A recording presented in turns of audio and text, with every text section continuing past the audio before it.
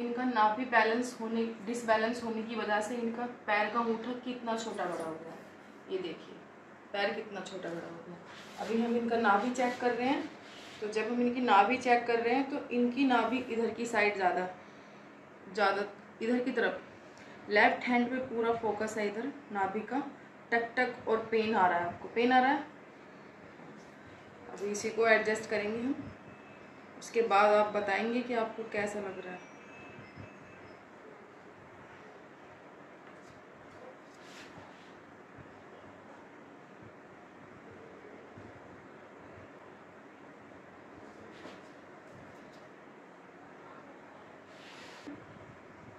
छोड़ दीजिए। बस बस बस बस बस। फिर से लीजिए। छोड़िए। देखिए, बिल्कुल यहीं बोल रही है सेंटर आ रही आवाज़ आपको? अब हम उनका पैर चेक करते हैं। इनके पैर भी बिल्कुल इक्वल हो गए हैं, देखिए। पैर के अंगूठे बिल्कुल सेम आ गए हैं, सीधे।